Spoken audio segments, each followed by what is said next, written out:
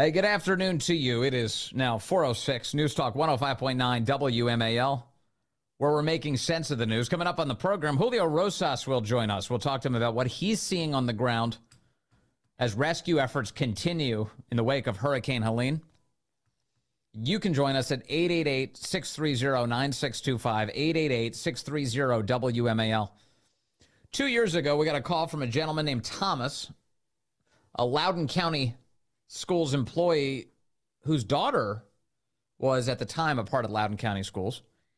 And he said that uh, something awful was going on within the school system. So he, he pulled his daughter out. Uh, listen, this is the call again two years ago. Take a listen. You know, I, uh, you know, I was actually kind of nervous calling in because, uh, you know, teachers are afraid to speak out about it. Um, I, I have a kind of a personal experience. My wife and I just put my daughter in private school because um, for the past previous school year, for about the last four or five months, without us knowing, uh, they were kind of affirming her, uh, and uh, she's kind of going through some gender um, questioning. Um, they were calling her by a different name. We didn't know this until almost the last day of school, and so our answer was to basically take her out. So I'm a teacher in Loudoun County, and I can't even keep my daughter in the school system anymore. So Thomas pulled his daughter out of the school system. You hear him say there that the school was literally deceiving him about uh, what was going on with his daughter, which is disgraceful. Um, I uh, I have I have some good news for you. I met Thomas this morning. Thomas and I, I got a chance to meet each other in person. We were out there in Loudoun County uh, at, in Leesburg at the Office of Elections there. So many great Americans gathering together to cast their ballots today in early voting in the Commonwealth. Uh, and Thomas stepped up and said, Hey, I called you two years ago, and I have an update for you on this story. So I thought it'd be, it would be nice if Thomas could share it with all of us. Thomas joins us now on the phone. Hello, Thomas. Good to have you back on the show, sir. Hey, Vince. It's great to uh, great to be here. Thanks uh, for inviting me. It's great to meet you this morning, you and Corey um, great to see you out there. Thanks for coming out to Loudoun. It was it was a great event. Uh, so many great people, and uh, including yourself. And uh, Thomas, you know, this is I I when I listened to this audio, I remember this call and thinking, man, this is what a rough situation this gentleman is in. Uh, that uh, you're being deceived by the very school system that you work for about the status of your daughter, and there are people within the school system apparently who, who are filling your daughter's head with all sorts of lies about herself. Give us uh, a sense of of where the journey went from there. What happened?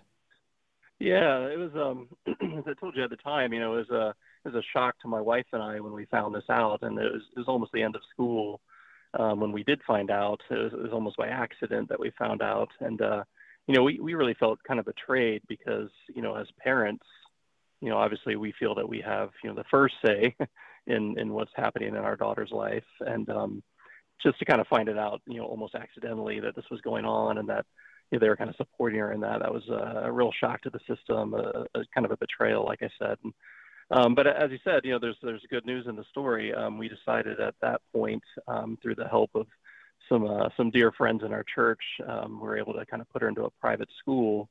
Um, and uh, it's interesting, you know, the, the very first day of that school, this was two years ago, um, you know, she really didn't want to go. She was upset about it. And, and my wife and I told her, look, just go into it with an open mind. You don't have to love it. We're not asking you to love it, but uh, please don't go into it, you know, thinking you're going to hate it. Just give it a chance. And at the end of that very first day when I picked her up, uh, I hadn't seen her smile in a long time, but she was smiling. She was laughing. She'd made a, a good friend group, which I think is a big part of the story.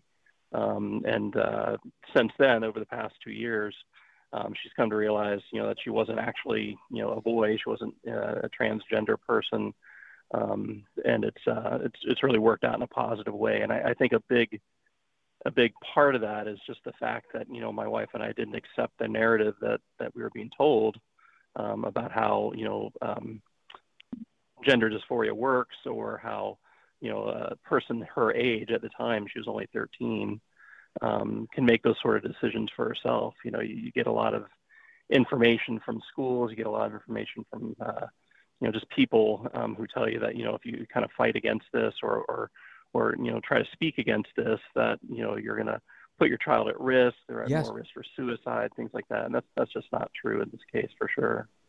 It's unbelievable. So you said that um, you you had friends from church who helped. Uh, does that mean that you put her in a Christian school? Is that when you say private school? Yeah, it was, it was a Christian private school. Um, she's still there now. Um, and you know, the, the, the, one of the things that was a big part of the story. I think when she was at the, the Loudoun County School, of course, you know the the teachers, and I'm I'm a teacher in Loudoun County. You know, there's this sort of like uh, idea that we're we're not allowed to kind of speak out against these things, and so when a student sort of says, "Hey, I'm now a boy" or "I'm now a girl," and they want to change their names, you know, we're supposed to kind of support that.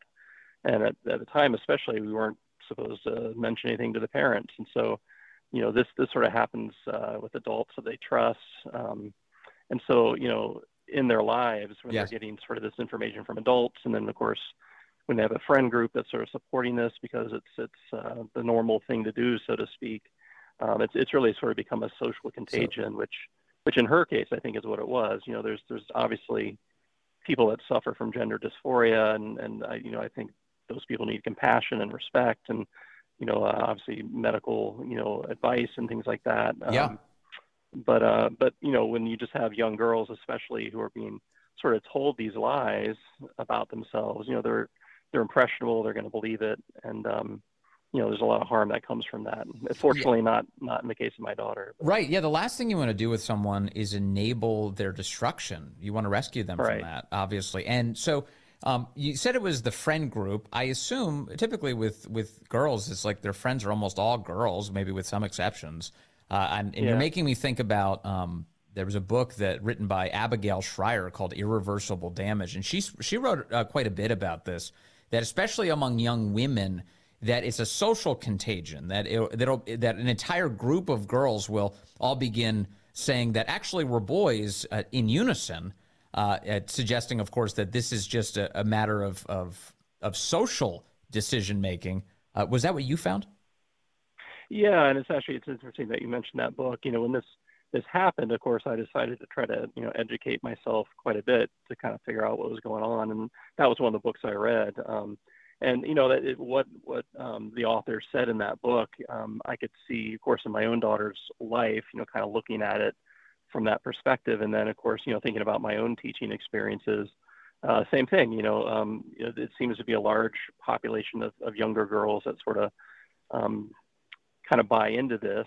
Um, you know, their friend groups will sort of do that. Um, it becomes almost popular or cool to kind of be that way. Um, and again, I'm not saying that's in every case. I mean, there, as I said, there are, you know, real cases of people who have, you know, a, a mental, um, you know, condition, gender dysphoria. Yes, yes they have um, which, confusion which, uh, about their own gender, right. but but they shouldn't yeah, be led astray but, into thinking that they're a mistake. This this is what I sure. preach all the time. It's like your your body is not a mistake. Your body's not a mistake. Right. Don't let anybody convince you of that. Yeah, and that's that's what we've been working with my daughter on. And as I said, over those past two years, you know, after that first year of being at the school, um, she had basically developed a new friend group that you know basically were friends with her because of who she was and not yes. because of like you know just how the, they could use her social fad. Yeah. yeah. And same thing with the teachers, you know. I mean, and, and you know, it's interesting because at, at the school she's at now, I mean, these aren't issues that are even really promoted or talked about. It's not like it's part of an agenda or something like that. So I think being out of an environment where that was sort of like in her face all the time, yeah, um, really helped. And you know, we as I said, we we didn't try to convince her that she was going to like the school or anything like that, but she she really did like it and has decided she's been there. This is her, the start of her third year there, and uh, I'm I'm happy to say, you know, she's she's not thinking that she's a boy anymore. She's not thinking, you know, that she wants to be part of that transgender movement. She's, uh, you know, uh, basically behaving like you would think a normal sure 16 year old or almost 16 year old girl would so be so what does she think of that era of her life now looking back on it how does she how does she assess it? Yeah you know it's an interesting question and and you know it's, it's still a little close to the the time when that was happening so yeah, yeah. Um, you know my wife and i still kind of approach it you know carefully. Um, but i think she looks back on that with a you know a sense of you know sympathy maybe to people that are going through these things. Um, you know she's got a big heart for people um, and so you know i think she she looks at that time as you know i think she's glad she's out of it um, out of that situation you know we've asked her if she wanted to go back to you know a different school but a you know a public school she doesn't want to do that um, and I, I think she can feel you know a lot of sort of concern for people that are going through the same thing as, as Yeah. her that she went through. So Can I, Um, I, I, I? By the way, I'm so grateful, Thomas, that you're sharing all of this because I think it's instructive, and I, and I know that one of the reasons you are sharing it is kind of as a, a way to to give um, uh, other parents out there some sense of hope about how to navigate def- these definitely. issues. Yeah. Uh, one one question I have, and it may be a bit personal, but I don't, I don't know if this is your daughter's situation, but um, one of the other things that we often see with uh, girls who are convinced of this, that they're boys, it's not just a matter of social contagion. There's also high degrees of correlations of autism. That young uh, Chloe, Chloe Cole, for instance, uh, she's told us uh, she's she's very famously gone through all of this and had a lot of regret about the way that she was exploited and treated. Uh, and she's talked about you know she has autism and that that was taken advantage of. Uh, did you detect that with say your daughter's friend group at all? Was was that something that you noticed? Um, you know, not necessarily. Um, I think my daughter's friend group was more um, sort of like trying to find a place for themselves. They didn't really fit into the, you know, the popular, you know, what you would might call the pretty girl group. They Sure. weren't super nerdy necessarily. You know, they, you know, they were trying to find their own way. And so I think, I think that was more of the case. Though I, though I will say, you know, my daughter, she she doesn't have autism or anything like that, but you know, she does have some executive functioning sort of things that we're, we've been dealing with, and Right. um, you know, she's just, uh, you know, she's she's doing great in school and everything like that. But yeah, she Yeah. hasn't, she hasn't, doesn't have autism. But I think for her group is more just, uh, you know, trying to find who they wanted to be. You know, like Yeah. most teenagers do. You know, they're trying to fit in, Right. and for whatever reason, you know, that was sort of what seemed like the the fit at the time. Yeah, and, Um, kids really kids are too much- decent, and those that decency can be exploited, and they're impressionable. Yeah. It's this is, I mean, it's a really wild time, and uh, and and so many people are led astray in so many directions. Uh, Yeah. through, throughout the generations, this is one of the latest iterations of that. As a teacher in Loudoun County schools, it must drive you crazy that the school system encourages this kind of deceit with the parents. Uh, how how has it changed your view of all of that?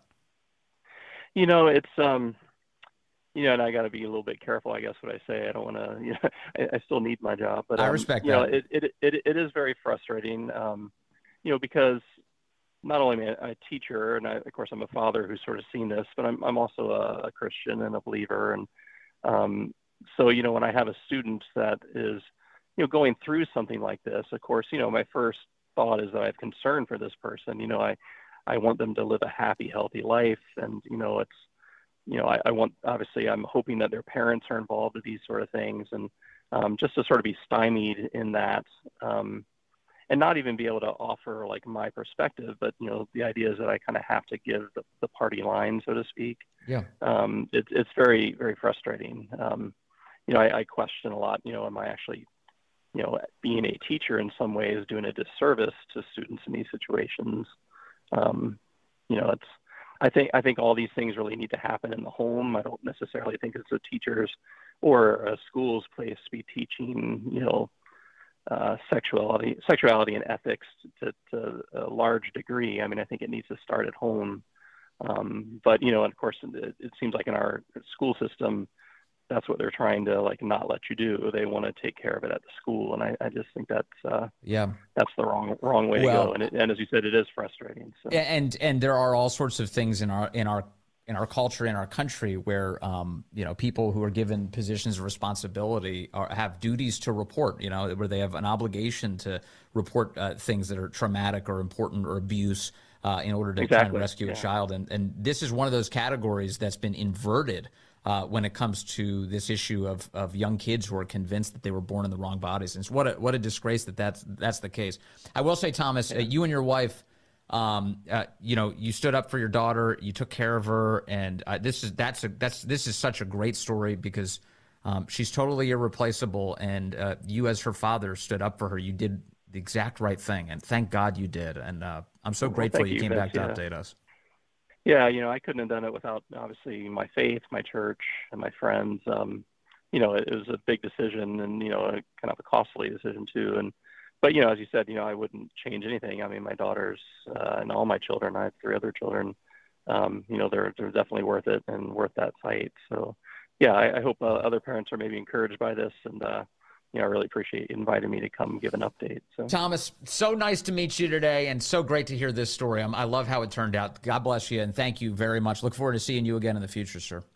Yeah, hope so, Vince. God bless you too. All right, let's go to the phones. I've got a Hoke calling in from Round Hill right now, line one. Hello, Hoke. You're on the Vince Coglianese show. Hey, Vince. I uh, figured, found out something interesting today. Are you familiar with the uh, transgender volleyball player out at San Jose State?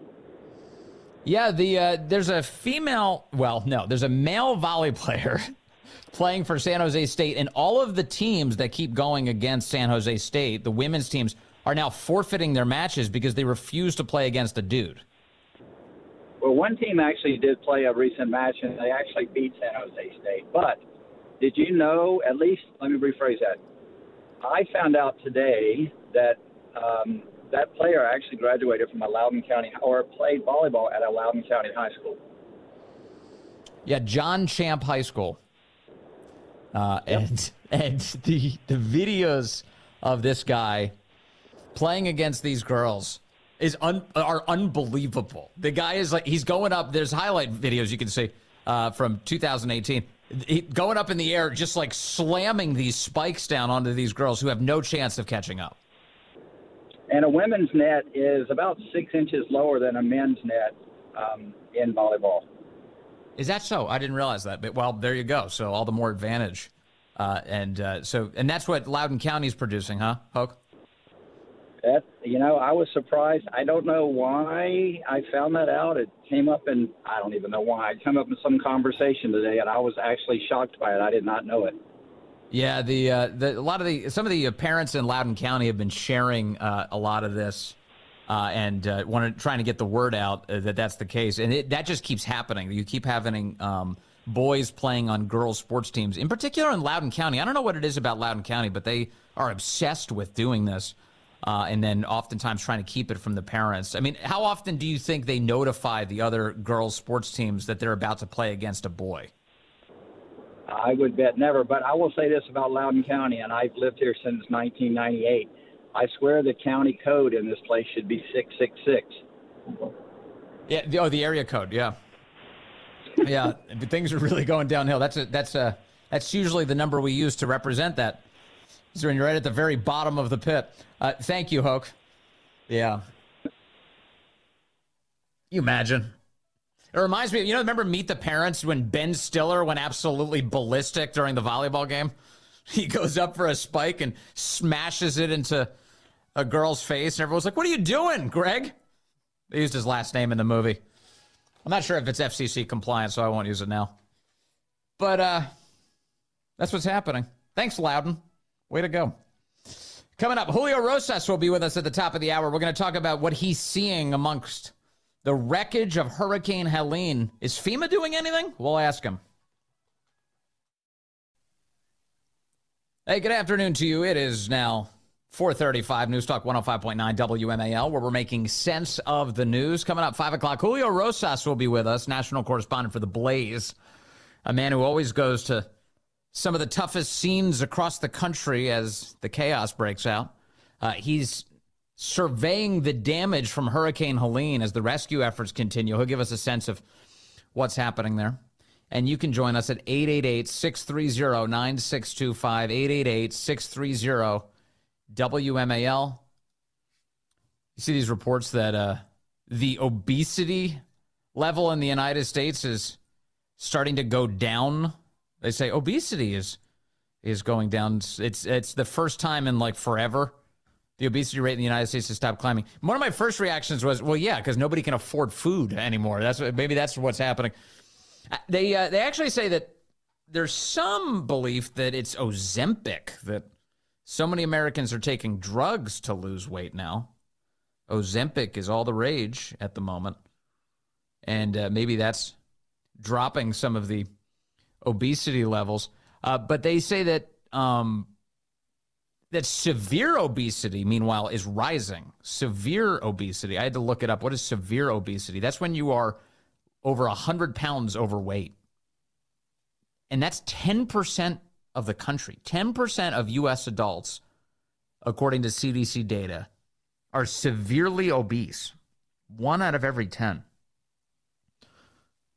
I'm so glad that uh, President Trump has brought RFK Jr. into this campaign and uh, is taking advice from people like Callie and Casey Means and uh, this this "Make America Healthy Again" thing that they're doing is so worthwhile. It is so completely worthwhile because think of all the ways that we need to improve as a country and get back on track. One of them is to once again have whole families, fathers, mothers, children. We should be having more children. We should be taking care of Americans. We need Americans to be more spiritually put together.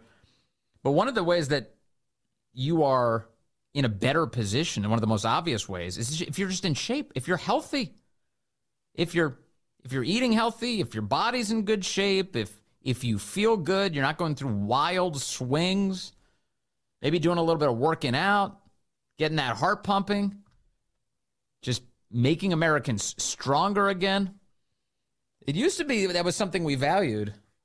And our government has just shot everybody in the direction of, oh, no, no, no. The pharmaceutical industry will, res- will rescue you. We just need a thousand more Ozempics. Whatever your issue is, we'll put a jab in your body and we'll fix it. That's not working out. That's not working out at all. A lot of misery in that direction. And by the way, one of the reasons for that is the FDA is totally corrupt uh, and has all these awful inside deals. And it has not served the country well. The opioid crisis started in earnest because of all of the FDA's corruption. Enough, enough. We don't need, you know, a food pyramid that recommends that you kill yourself when you consume food. That's idiotic. So a lot has to change. The Make America Healthy Again track is super important it may even bring in some voters who don't normally think to themselves, hey, I should vote for the Republican candidate in this contest. Maybe you should, actually, because the Democrats are doing nothing but making it worse. They're in bed with these pharmaceutical companies. They're they're a, a part of they're very a part of a captured crony uh, environment. So yes, we do get some data today that says, oh, well, obesity is slightly ticking down, but severe obesity is going up. What does that tell you? And we can't medicate our way out of every problem. And one other piece here there's a financial implication here that everyone needs to be cognizant of. If America is healthier, that means we spend a lot less money, all of us, on rescuing unhealthy Americans. How many stupid debates do they have in Washington every year about how, are we going to spend more money on this health program? Are we going to cut money from this health program? How are we going to get past uh, all of this massive debt that we have? We have to address entitlements. You hear stuff like this, and and very few people actually say, "Why don't we attack the underlying problem?" Which is that if Americans were a lot healthier, we wouldn't have to spend all this money on sustaining them through their chronic illness. What are we doing? This is why I just had Marty Makary on this past week. If you missed that conversation, please, please, please check out the podcast, the Vince Coglianese Show podcast. I encourage you to subscribe to that too. By the way, that's a, a, a, a podcast subscription is the sound of applause that we can detect back at the radio station. Oh, people like it. They're subscribing. And the content is good. This is what we're trying to do. We're trying to produce good content for you. And uh, Dr. Marty Makary came on this past week and was saying that, uh, first of all, addressing the food supply and making Americans healthier again should be right there at the top of the list. And he also dug deep into the way that medical professionals uh, are trained and are doing their jobs in our country. Lots of good doctors out there, but the medical industry involves increasing specialization where you have all of these doctors who are concentrated strictly on their specialization and are focused only on disease maintenance or in dealing with that that area of your life that they're that they're so specially trained to deal with. And it's amazing what they know but the medical industry is not holistic in the way it handles the human body. We hear from doctors they say the the education on nutrition is virtually non-existent in medical school. Very little time is spent on nutrition. And so what we need to get back to is a world in which uh, the medical industry thinks about people holistically it doesn't just push them towards the thing that's going to enrich the pharmaceutical companies. When a disease from China, when COVID pops up and it turns out that obesity is the signature thing that tells you whether or not you're going to have a good or a bad outcome, well, you should be telling people to lose the weight, eat healthier, get outside, go for a run. And that's not what they said. Instead, they wanted to enrich Pfizer. That's what they did. And so Americans are done with that game. They should be. The ones who are waking up to all of this. And so if uh, if RFK provides anything, it'll be uh, an improved conversation around that issue, and we can get back to some of the stuff like you know JFK, those hilarious uh, clips of JFK talking about uh, like how awful it is to see overweight children. Do you remember those? Like the JFK once warned America about soft, chubby looking, uh, soft, chubby, fat looking children, uh, which is one of the greatest things. I'm looking up the clip right now for you because uh, oh, here it is. Yeah, this is JFK saying there's nothing more unfortunate than fat kids. Take a listen to this. There is nothing, uh, I think, uh, more unfortunate than to have uh, soft, chubby, fat looking children who go to uh, watch their school play basketball every Saturday and regard that as their week's exercise. I hope that all of you will join and everybody in the United States to make sure that our children participate fully in a vigorous and adventurous life which is possible for them in this very rich country of ours. Isn't that great? Bring that back. Uh, so RFK Jr., a relative of JFK, uh, looking to bring that back. Looking to bring that back. Uh, all right, let's see. Uh, lots of calls coming in, so let's take some. I got Mark calling in from Landover Hills, line three. Hello, Mark. You're on the Vince Coglianese Show. Top of the day to you, Vince. Great show again with the information you share with us, buddy. Thanks a lot. Thanks, Mark. Hey, Vince, I wanted to say something, and you and I have talked about this before, and it's good that you bring this up, and we can tie things together here, because you were 100% correct about your what you're saying with the FDA, and I'll even throw in the World Health Organization with their ideas of what suitable nutrition are for adults and children, because they do not have their system set up for us to thrive. They have it set up to barely keep us from getting scurvy. And also, Vince, we must remember that they are lying through their teeth about telling people about us living in a the inner city kids and inner city people are the only ones that are living in a food desert. I've got news for them, Vince. With their frozen food world and their garbage that they push on people, even people on low income, that they are only fooling themselves. And one thing else, Vince, I'll get off here because you said you had a lot of calls coming in as far as uh, J, RFK goes and JFK. Vince, when is the last time we heard, and you remember this, Vince, I know you do because you work out, that, man, one of the biggest things the president talked about was his fitness, his fit, physical fitness council. Who's the head of it? You won't hear Magoo and his gang say one word about that because they are building an obese world. Yeah, and obesity is dependency and and uh, and, and, instead of self determination. Uh, and so, yeah, it's it's the kind of thing you've got to tackle. And and you you mentioned just now this phrase "food deserts," which the left has bandied about for years, and and they were banding it about because they were claiming. Uh, that uh, the only reason uh, anyone's unhealthy is because they don't have access to fresh fruit and fresh vegetables. That was the claim. Uh, there's a there's a fellow called John McWhorter. He's a, a linguist who, uh, who writes occasionally for the New York Times, but he wrote uh, a little about almost uh, let's see, almost two decades ago, practically. Well, 2010. He wrote in 2010 about something called the myth of the food desert, and he actually went and he found that almost every American actually lives within range of healthy food, uh, and that this is a lie that the left has been spreading.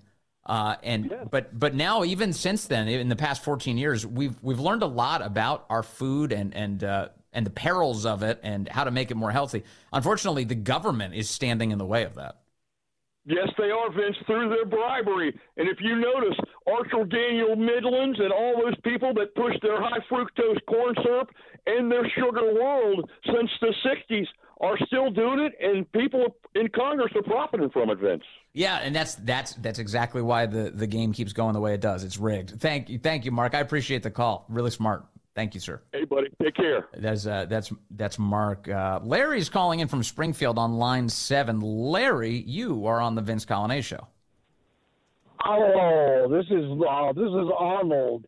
Uh, he had to take a bio break. Uh, wait, I want wait. to talk to you about Larry. Fact, Larry, uh, Larry took a bio break. You said, and now we're now we have Arnold. Is that what you're telling me?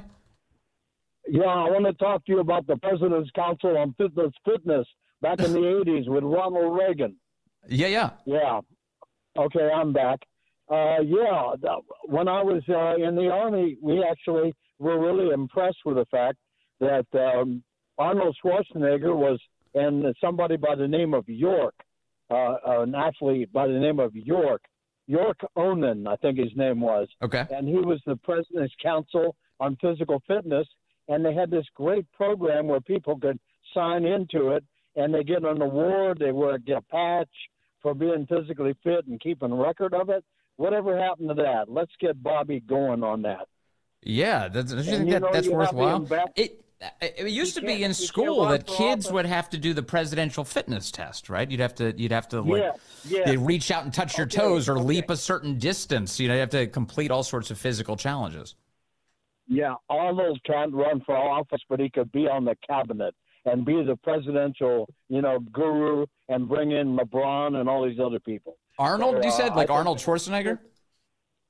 Yeah, man, he he's he can't run for president, but he can certainly be on the president's council again. Didn't he lose his mind though? Didn't age, I, at his age? Yeah. It shows what uh, good fitness can do for you. I want to leave it open for everybody else. Mark. Okay, thank you, thank you. So, so that was Arnold I just spoke with, right? Is that your name, Arnold? Watch out! Watch out! Okay, thank you. I I don't actually know, but that's okay. I appreciate the call. I, w- I was trying to think I'm trying to remember all these Hollywood celebrities. Some of them have gone absolutely crazy. I was trying to remember if uh, Schwarzenegger did uh, with uh, Trump. He's like if he if he had um, Trump derangement syndrome or not. So maybe maybe that will or will not work out. But there's lots of really good, talented uh, people who understand fitness who definitely should be a part of a, a Trump administration focus on that issue. That would be that would be really good. Uh, okay, let me see here. Uh, Scott is calling in from Hillsboro on line two with a very important question. Scott, good afternoon, sir. You're on the Vince Coglianese show. Hey, Vince, great to talk to you. I think you missed uh, Larry's joke. He was actually talking about he was pretending to be Arnold. I was wondering if you were trying I must to get have, back yeah. to the morning I, show. Because when I was at the rally this morning, which okay. I thank you for the donut, even though I am a little overweight. I'm the guy with the really loud truck with the air horn and the boisterous voice towards the end of things. I was wondering because when we gathered for the picture, I asked you because I wanted to show my appreciation because I love the hell out of all of you guys that feed us the truth every day about showing our appreciation. And Larry said that we were not allowed to give you a hug, that we were all supposed to line up and give you a French kiss. And you said you were going to report him to HR and get mm. him fired. I'm working on it. It's I'm working on it right now. It's uh, I, it's it's you know filling out the complaint form here in this corporate environment. It's actually pretty extensive. Uh, but as soon as I'm oh, done, I'm, I'm going to try and get Larry O'Connor fired. Yeah, no, actually, what happened this morning was I was on the morning show for people who missed it, and I was uh, promoting the fact that we were all out in Loudoun County, that I was hanging out with Scott out there. Uh, and Larry concluded the interview with uh, some ball busting by suggesting that uh, I'm a germaphobe, that, that, that nobody wants to shouldn't nobody should shake hands with me uh, because I'm a total germaphobe. And then he went the opposite direction. He was feeling his way through the joke, and then he started saying stuff about actually you should French kiss him and, and go really over the top. And so by the time people started arriving, everyone was confused about my my interest in space and the way I'd handle. And so, uh, Scott, you're not the only one. Everyone kept coming up to me and they were like, "Is it okay if I shake your hand?" Larry was saying, and uh, I was uh, I was really upset about this. I was annoyed by it because uh, I love Larry, but I didn't like how that interview led all these people to believe that I was a weirdo. Uh, so. I'm still navigating it, Scott. I knew he was just funning with you. It was all good. God bless you. God bless you all. Thank you for everything you do. Thank you for being real journalists and actually giving a crap about finding the truth.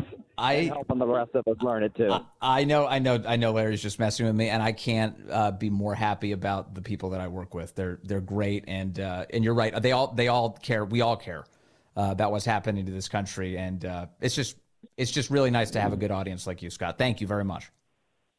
Thank you all day, every day. I'm driving that truck around. I'm hearing you guys from Red Eye Radio in the morning, all yeah. throughout the day till I get home. And most of the time, listening to Ben Shapiro. God and Scott, and Scott. By the way, before before I let you go, because you're driving a truck, did you notice how many tr- people driving trucks were honking at us this morning to celebrate that we were all out there? Oh yeah, and and absolutely incredible. I was so tickled to death to pull up and see how many people were out supporting the cause. It was uh, kind of embarrassing for the blue team over there. But, yeah, uh, they're really covering their faces in thing. shame. Thank you very much for hosting. Yeah, no problem at all. All right, Scott, thank you very much. I want to pick up Connor, who's calling in from Huntsville, Alabama, on line four. Connor, good afternoon, sir. You're on the Vince Coglianese show. Hey, Vince. Uh, thanks for taking my call.